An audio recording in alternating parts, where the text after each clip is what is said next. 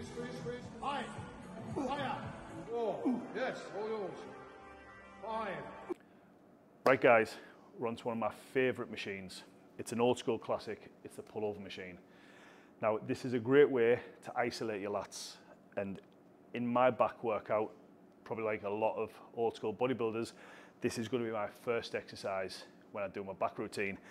So this particular machine is a Life Fitness pullover.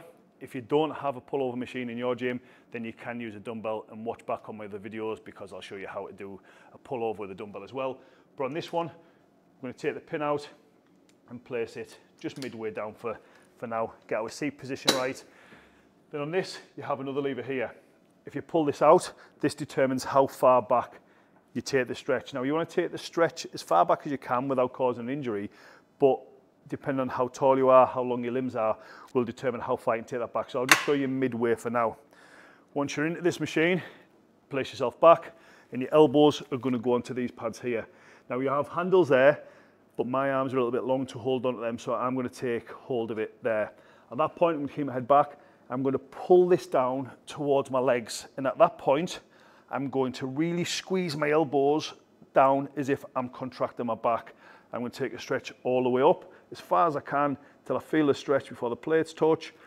Up, and I'm bringing it back again. And you can really feel this contract your lats as well. And you want to take it down again. And if anybody's watched any any old school bodybuilding videos like of Dorian Yates and people like that, this was always their favorite machine. And if you're watching this video on YouTube, then there's videos of Dorian down at the gym we're in now where he's giving you his expert advice on training. So be sure to check out my other videos on my YouTube channel. And if you haven't subscribed, please do because it massively helps us out. But getting back to this, we're gonna drive this down, squeeze and hold.